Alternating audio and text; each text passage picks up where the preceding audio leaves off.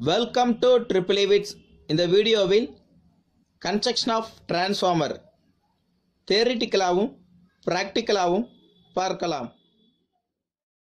டிரான்ஸ்ஃபார்மரில் முக்கிய மூன்று பாகங்கள் இருக்குது ஒன்று லேமினேட்டட் அயன் கோர் ரெண்டு பிரைமரி வைண்டிங் மூணு செகண்டரி வைண்டிங்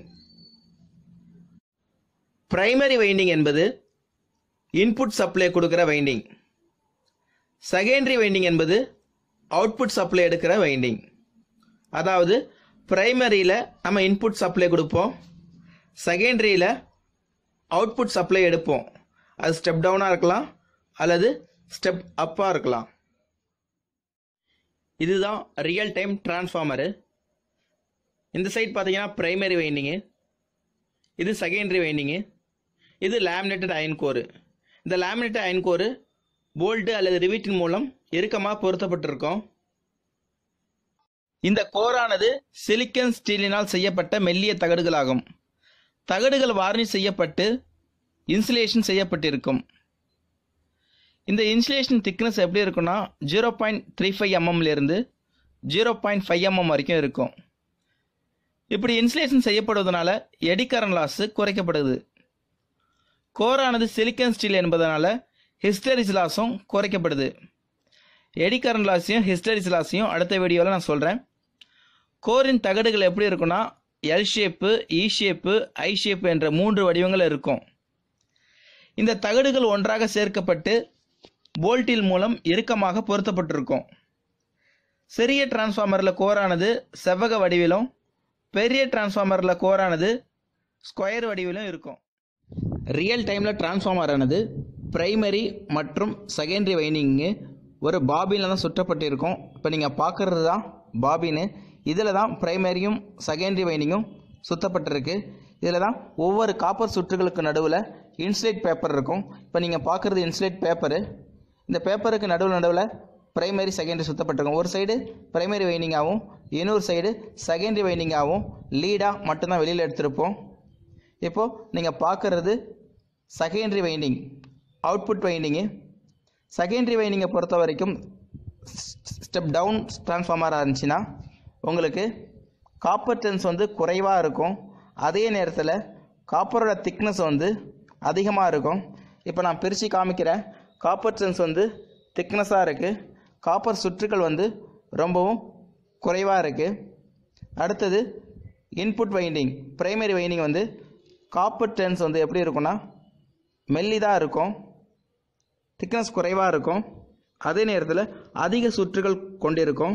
இது இன்புட் வைண்டிங்கு இதில் தான் இன்புட் சப்ளை கொடுப்போம். இந்த லீடில் தான் இப்போ நீங்கள் பார்க்குறது ப்ரைமரி வைண்டிங்கு இப்படி தான் டிரான்ஸ்ஃபார்மரு ப்ரைமரி மற்றும் செகண்டரி ஒரு பாபினில் சுத்தப்பட்டிருக்கும்.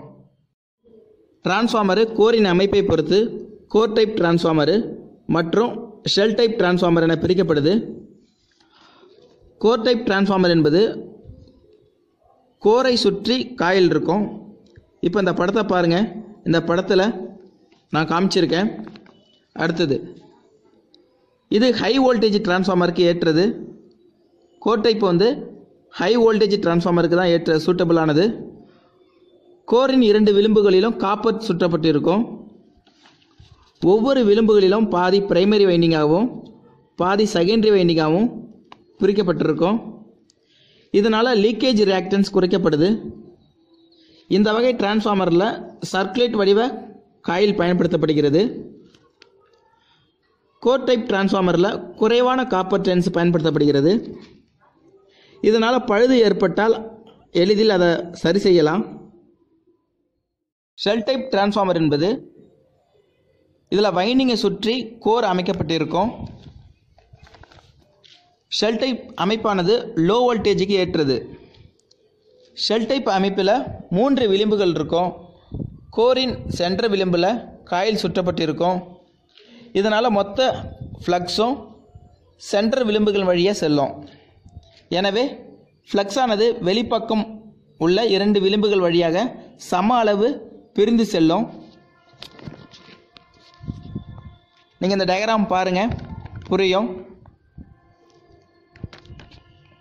சென்டரில் உள்ள விளிம்புகள் மற்றும் இரு அவுட்டர் விளிம்புகளை விட அளவில் இரு மடங்கு பெரியதாக இருக்கும். இதில் பிரைமரி மற்றும் செகண்டரி வைண்டிங்கு சென்டர் விளிம்புகளை சுற்றப்பட்டிருக்கும். இதுதான் shell type transformer shell type டிரான்ஸ்ஃபார்மரில் என்ன அட்வான்டேஜஸ்னால் நல்ல கூலிங் கிடைக்கும் லீக்கேஜ் ரியாக்டன்ஸ் குறைவாக இருக்கும். நல்ல மெக்கானிக்கல் ஸ்ட்ரென்த் உடையதாக இருக்கும். மேக்னெட்டிக் லாஸ் வந்து குறைவாக இருக்கும். இதோட டிஸ்அட்வான்டேஜ் பார்த்தீங்கன்னா வைனிங் செய்வது கடினம் பழுது பார்ப்பது மிகவும் கடினம். இந்த வீடியோ பிடிச்சிருந்தால் லைக் பண்ணுங்கள் உங்கள் ஃப்ரெண்டுக்கிட்ட ஷேர் பண்ணுங்கள் மறக்காமல் சப்ஸ்கிரைப் பண்ணுங்கள் தேங்க்யூ